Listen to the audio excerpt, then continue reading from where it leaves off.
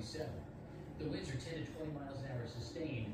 We have higher wind gusts right now. So here's your most accurate forecast.